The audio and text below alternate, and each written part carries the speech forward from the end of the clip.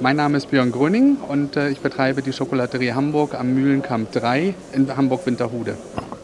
Wir äh, vereinigen Manufakturen unter einem Dach und äh, handgefertigte Waren von Schokolade über Pralinen ähm, ganz ähm, unterschiedlicher Herkünfte und haben dort ein breites Sortiment an Tafelschokoladen, Pralinen, Trüffel.